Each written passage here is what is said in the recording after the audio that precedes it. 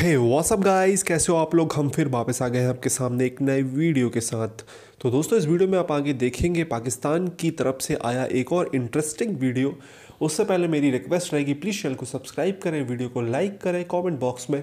अपने सुझाव ज़रूर शेयर करें। तो चलिए दोस्तों, बिना किसी देरी के पहले देखते हैं वीडियो पर, फिर करते हैं वीडियो के बारे में बात। तो चलें दोस्तों इंतजामिया की जानब से जो अफगान पीस प्रोसेस शुरू किया गया था, वो अमल कंटिन्यू रहेगा, लेकिन पॉलिसी पर नज़र सानी होगी इसके बावजूद कौन से ऐसे पॉइंट्स है जहाँ पर हम ये कह सकते हैं कि इंडिया चूँकि एक के बाद दीगरे बहुत सारे महाज पर एक्सपोज हो रहा है तो हमें अब मजीद अपनी तरफ़ कुछ बेहतरी लाने की ज़रूरत है, अपने होमवर्क में। लेकिन सबसे पहले तो हमें यह जानने की ज़रूरत है कि जो एक बाई पार्टिजन कंसेंसस है अमेरिका के अंदर चीन के हवाले से। और अभी हाल ही में आपने देखा था कि इंडो पैसिफिक पेपर को डी क्लासीफाई किया गया जो ट्रंप इंतज़ामिया किस तरीके से जो स्ट्रेटिजिक पार्टनरशिप है भारत के साथ बढ़ाना चाहती है और उसका टारगेट चाइना है। तो अगर हम ये तो कर रहे हैं कि बाइडन के आने के बाद कोई ड्रामेटिक शिफ्ट आएगी हम्म। और हमारे कहने के ऊपर वो भारत को कुछ तनकीद का निशाना बनाएँगे या उससे पीछे हट जाएँगे ये इतनी आसानी से होगा नहीं। हाँ थोड़ी चेंज ज़रूर आएगी एक डिसेंसी आपको नज़र आएगी आपको लगेगा कि हो सकता है कि प्राइवेटली वो मोदी सरकार को या जो भी गवर्नमेंट वहाँ पे होती है तो उनको कम अज़ कम वो कश्मीर के हवाले से या माइनॉरिटीज़ का जो हालात हैं उसके ऊपर वो बात करने की कोशिश करें। सिल्वर लाइनिंग एक ये भी है कि चीन के साथ जो रेटरिक है अमेरिका का वो कम हो और उसके अंदर फिर ज़ाहिर है कि पाकिस्तान के लिए थोड़ी आसानियाँ पैदा होंगी। हमें करने की क्या ज़रूरत है? ज़ाहिर है कि जो फॉरेन पॉलिसी के चैलेंजेस हैं हम्म। ये ओवरनाइट तो बदलते नहीं हैं। अब बाइडन के आने से ये तो नहीं है कि ड्रास्टिक कुछ चेंजेस आ जाएँगी। बाइडन के आने का एक फ़ायदा भी है नुकसान भी है। बाइडन जो है वो क्योंकि पैंतालीस साल तक सेनेट के रुकन रहे और जो ऑल पावरफुल जो सेनेट की फॉरेन रिलेशंस कमेटी है उसकी सरबराही करते रहे। हम्म। फिर आठ साल वो वाइस प्रेसिडेंट रहे। फिर जो कैरी लूगर बिल है उसको बनाने में उनका बहुत बड़ा किरदार है हम्म। तो वो पाकिस्तान की सियासत को भी इस खत्े की जो सिक्योरिटी है उसको भी बहुत अच्छे तरीके से जानते हैं तो मतलब इसका मतलब ये है कि जब एक शख्स ऐसा कि जिसका तजुर्बा है ट्रंप के हम्म। मुकाबले में बहुत अच्छे तरीके से सारे खत्े को जानता है तो उसके लिए ज़ाहिर है कि आपको बहुत बेहतर तैयारी करनी होगी और सबसे बढ़कर मेरे ख्याल में अपना इन हाउस हमें ऑर्डर करना होगा और कोशिश करनी होगी कि जो हमारे ये हमेशा से मेरे ख्याल में पाकिस्तान में डिबेट भी होती रही है हम्म। कि क्या अमेरिका के साथ जो हमारे ताल्लुक हैं हम्म। वो सिर्फ़ सिक्योरिटी लेंस से ही देखने चाहिए क्या अफ़गानिस्तान के ही प्रस्पेक्टिव से देखने चाहिए या पाकिस्तान के अंदर और भी ऐसे बहुत से एवेन्यूज हैं जहाँ हम्म। पर पाकिस्तान और अमेरिका के दरमियान कन्वर्जेंसेस हो सकती है। तो मेरी तो तो ये है हम्म। कि अफ़गानिस्तान यकीनन मोस्ट इमीडिएट कंसर्न पाकिस्तान का भी है हम्म। अमेरिका का भी है। लेकिन अदर देन दैट मेरे ख्याल में हमें trade and commercial ties investment इन चीज़ों के ऊपर भी काम करने की ज़रूरत है क्योंकि अल्टीमेटली जो दोनों मुल्कों के दरमियान दो मुल्कों के दरमियान जो। ताल्लुकात हैं वो डिटर्मन करते हैं कि आपके ट्रेड एंड कमर्शियल टाइज कितनी स्ट्रॉन्ग है। तो उसके ऊपर हमें काम करने की ज़रूरत है और वो सिर्फ़ बातें करने से होगा उसके लिए हम्म। हमें काफ़ी ज़्यादा होमवर्क करना होगा। सही। जुनेरा कामरान का पॉइंट लेकर मैं आगे बढ़ूँगी। अफ़गानिस्तान तो एक मेन पॉइंट है भी लेकिन मजीद एवेन्यूज के हवाले से उन्होंने बात की। इकोनॉमिकल पॉइंट ऑफ़ व्यू पर जब भी हम आकर बात करते हैं हम ये कहते हैं कि ट्रेड के हवाले से बिज़नेस के हवाले से इंडिया के साथ आ, उसकी शराकतदारी कुछ ज़्यादा है। वहाँ पे आ, हमें आगे किस तरह से खुद को काउंटर करना होगा? वेल well, uh, एक चीज़ जिसको बहुत अरसे से ख़ुद हमारे जो मुल्क के अंदर इंटेलेक्चुअल्स हैं, वो भी डिनाई करते रहे हैं और दुनिया जानते हुए भी उसे इंडोर्स नहीं करती रही, वो ये थी कि हमारी जो रियल थ्रेट है to economy to the country to the strategic regional peace and stability वो इंडिया है। अब इसको जितना डिस इन्फोलैब ने और अर्नब गोस्वान गोस्वामी की चैट हम्म, ने हम्म। और इन सारे जो इंसिडेंट्स हुए हैं लेटेस्टली जितना उन्होंने इसको एक्सपोज किया है और इंडोर्स किया है शायद उससे लर्न करने की ज़रूरत ज़्यादा है as long as you have an existential threat in your country you can't really focus on trade relationships and commercial relationships because वो प्रेसिडेंट। ले जाते हैं इसीलिए आपकी जो पोलिटिकल डिप्लोमेसी है मिलिट्री डिप्लोमेसी उसका पार्ट तो होती है लेकिन वो आपकी प्रेसिडेंट ले जाती है बिकॉज़ थ्रेट जो है वो ज़्यादा रियल होती है और ज़्यादा सामने आपकी खड़ी होती है हम्म। अब मोदी सरकार ने इस थ्रेट को जिस लेवल पे इस थ्रेश को रादर जहाँ पे ले गए हैं वहाँ पे ये बताने की ज़रूरत है अमेरिका को कि इनका सारा जो वॉरफेयर सिस्टम है that is directed towards Pakistan LOC को देख लें, इनकी मिसाइल डिप्लॉयमेंट देख लें, आप इनकी एयरफोर्स इनका सारा ऑफेंसिव मनूवर देख लें, सब कुछ डायरेक्टेड है टूवर्ड्स पाकिस्तान अब उसके साथ जो कुछ बलोचिस्तान में हो रहा है that is gross human rights violation के वहाँ पे किलिंग्स हो रही हैं सेक्टेरियन वायलेंस हो रही है.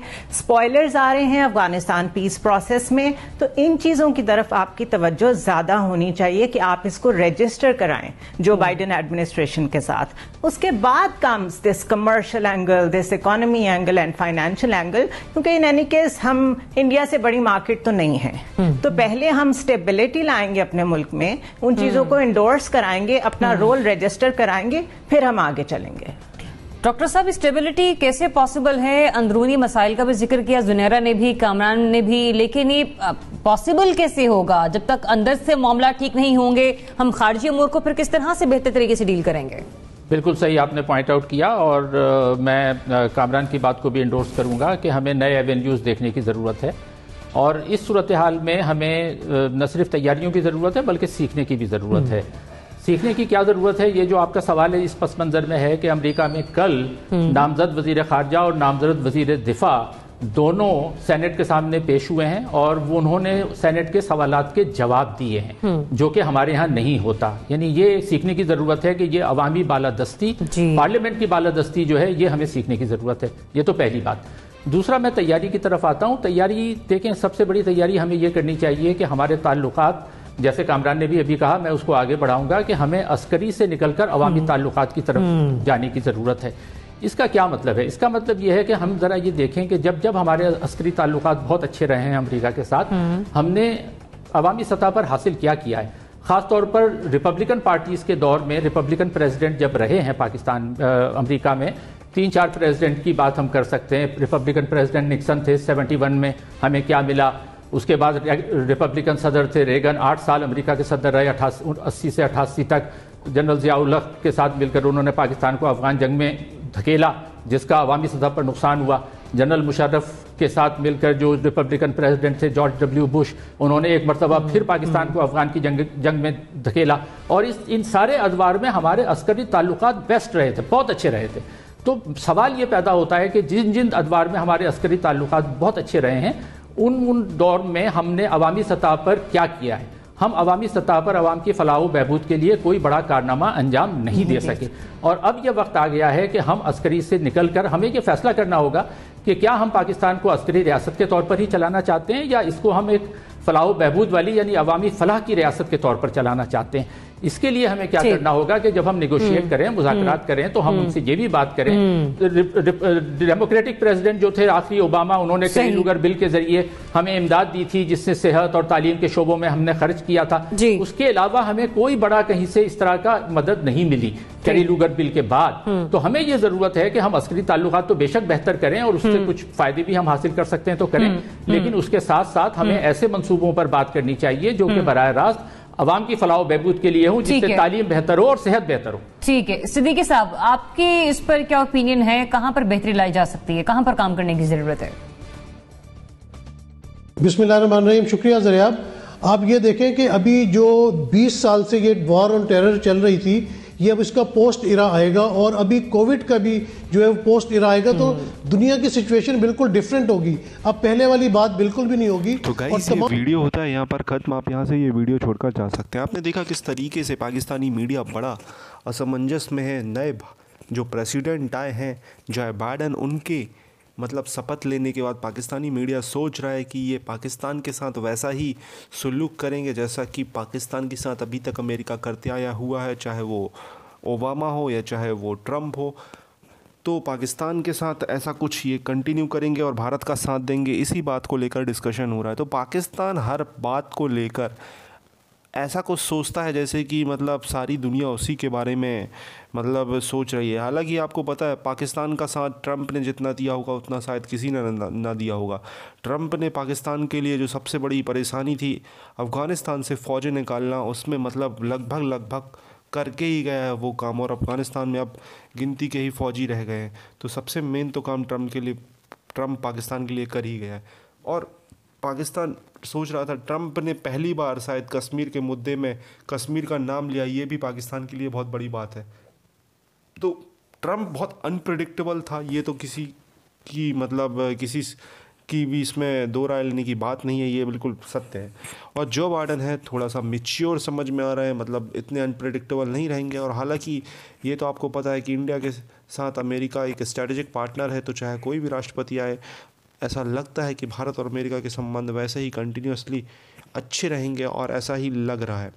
हालाँकि जो कैमला हैरिस हैं, उनके जो पुराने बयान अगर देखें तो वो इतने अच्छे मतलब भारत के लिए अच्छे नहीं रहे। लेकिन ये प्रेसिडेंट मतलब वाइस प्रेसिडेंट बनने के पहले के हैं। अब पता नहीं आगे क्या होगा, ये डेफिनेटली कुछ ना कुछ चेंजेस आएँगे। और भारतीय मूल के, आपको पता है, डो, इसमें मतलब डोनाल्ड ट्रंप की जो पार्टी के अगेंस्ट खड़े हुए थे युवा सेनेटर, लगभग 20 सेनेटर भारतीय मूल के हैं जो बाइडन की पार्टी से। तो ये भी बहुत बड़ी बात है और अब जो कैमला हैरिस हैं, वो बेसिकली इनकी माँ का ताल्लुक़ तमिलनाडु से है। तमिलनाडु के छोटे से गाँव से, तमिलनाडु के छोटे से गाँव में भी दीपोत्सव मनाया जा रहा है, दिए जलाए जा रहे हैं, काफ़ी खुशियाँ मनाई जा रही हैं। और आपको बता दें कि ये पहली वॉइस महिला प्रेसिडेंट हैं तो ये भी अमेरिका के लिए एक पहला ऐतिहासिक दिन है। अमेरिका में सौ साल पहले लेडीज़ को वोट डालने का अधिकार मिला था। तो आप समझ सकते हैं दोस्तों कि अमेरिका, जो भारत को काफ़ी लेक्चर देता है, केवल सौ साल पहले ही इन्होंने लेडीज़ को वोट डालने का अधिकार दिया था। हालाँकि उस समय भारत में उससे सौ साल सौ पाँच सौ साल पहले लेडीज़ पावर में आ चुकी थी कई रियासतों में। अगर आपको जानकारी के लिए बता दूँ। फॉर एग्ज़ाम्पल रानी लक्ष्मीबाई रानी दुर्गावती, रानी अवंती बाई अहिल्याबाई और भी बहुत सारी आप देख सकते हैं।